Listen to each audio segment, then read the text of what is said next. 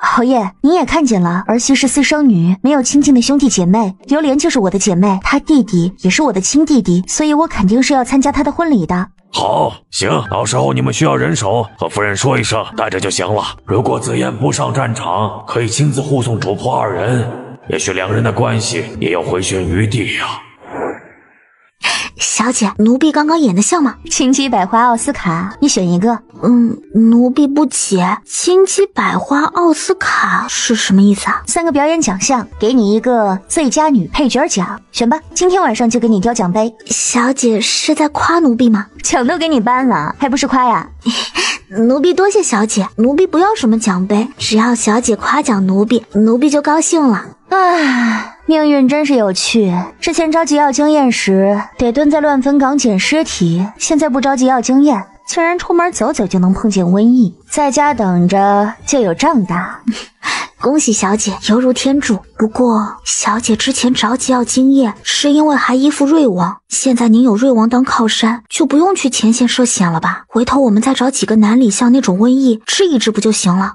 哼，你以为南里巷的经验很好拿？我们是碰见九皇子那傻小子了，换个人就得把我们抓起来，逼问药物来源，还不如去前线，兵荒马乱的才好蹭经验。别以为我依附瑞王，我就安全了。如果瑞王变心了呢？就算瑞王不变心，也许瑞王明天死了呢。瑞王如果安全，能被烧成那样，榴莲，你永远记住，靠人不如靠己。小姐教训的是，刚刚奴婢又犯糊涂了，弟弟失踪。父母双亡，被亲人卖了，险些丢了性命，竟然还想依靠人。小姐说的没错，不要依赖任何人，永远要靠自己。上回南岭相蹭的经验还剩了不少，我兑换一点抗生素，缝合用的线，直接换可吸收的缝线。虽然浪费一点经验，但不用拆，省事儿还不会露馅。嗯，器材也得多换几套，医用棉可以换一点，纱布，啊，纱布就算了吧。等回头我一走，伤员拆包扎，眼看着纱布消失，解释起来多麻烦。小姐不是刚说不用空间里的纱布，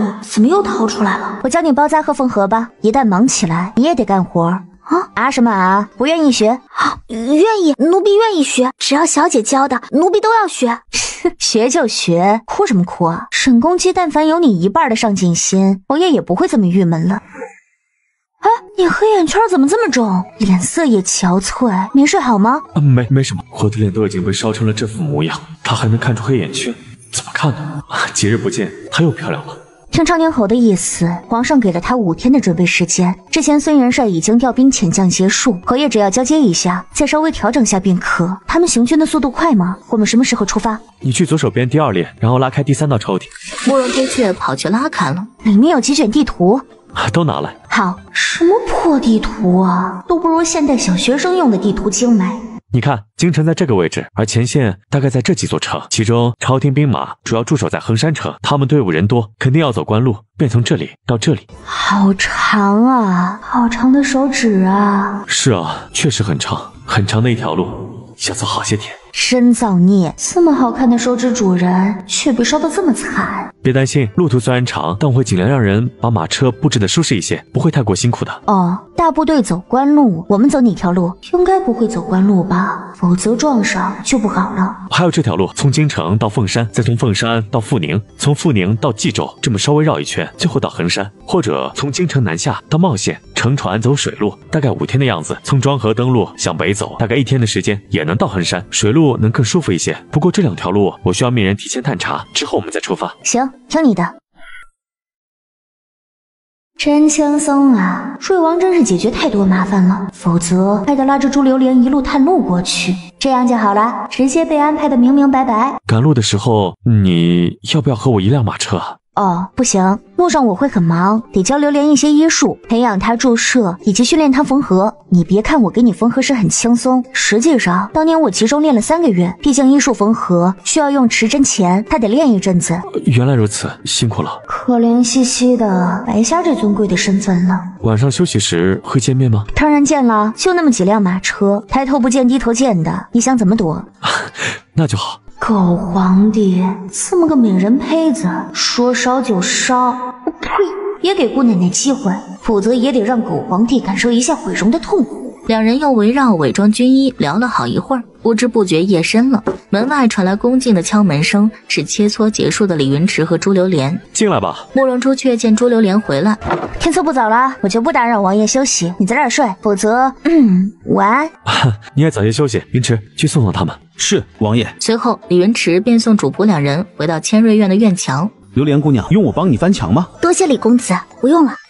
随后足尖点地，噌的一下就跳了起来，跳得真高啊！真是讨厌死了！为什么身边的人都这么能打？哎，还好有瑞王，瑞王没有武学天赋，还有个垫底的。唉。真是讨厌死了！姑娘家家的，为什么天赋要那么高啊？还没等李云池感慨，却见本来跳过去的朱榴莲又跳了回来。小姐，如果您不害怕，让奴婢试试带您跳过去好吗？慕容朱雀当然同意了，毕竟男女有别，每次都让李云池抱来抱去，影响不好。于是朱榴莲就抱起自家小姐，轻轻松松跳了过去。应该走水路，过条大船，这样就能经常见面了。嗯，就定水路吧。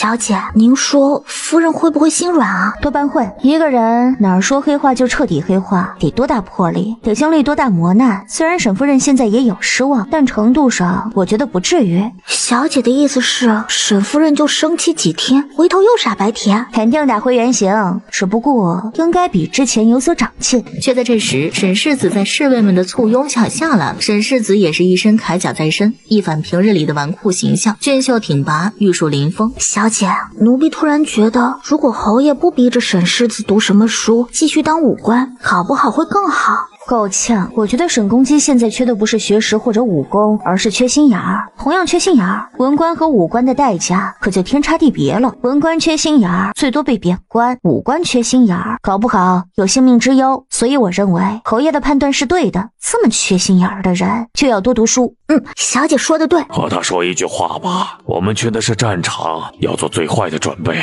是啊，他们是去战场，而不是普通的公差。虽不至于九死一生，但也要做最坏的准备。对儿子怨归怨，但想到儿子如果战死沙场，沈夫人的喉咙瞬间噎了个东西，胸腔有一股子怨气，恨意涌上。你这个孽子，孽子！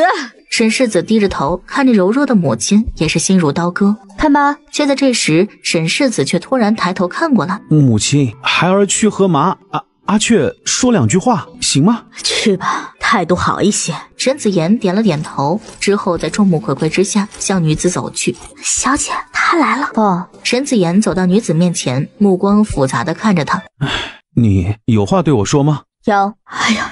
有戏呀！太好了，终于要破镜重圆了。哎呀，就是说嘛，百年修得同船渡，只是中间出了一点点差错，有什么过不去的坎呐？